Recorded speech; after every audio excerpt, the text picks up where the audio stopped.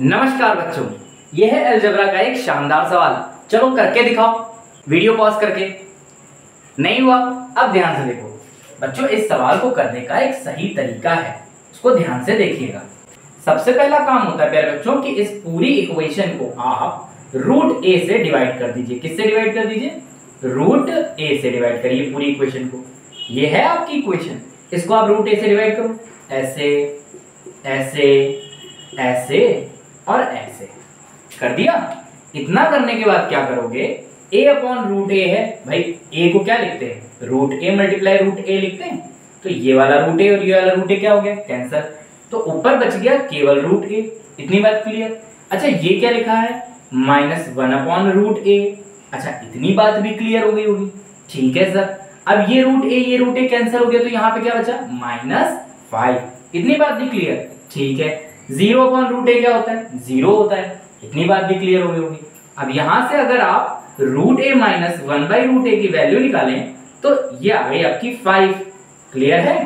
ठीक। लेकिन सर, पूछा तो हमसे ये है। हाँ तो इंतज़ार करो भी निकाल रहा हूँ।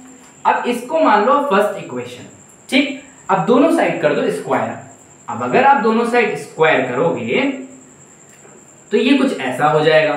फाइव का स्क्वायर क्या होता है? ट्वेंटी फाइव ठीक है? यहाँ पे होल स्क्वायर खोलो रूट ए का square a plus one upon root a का square one upon a minus two a b इतना कर लोगे?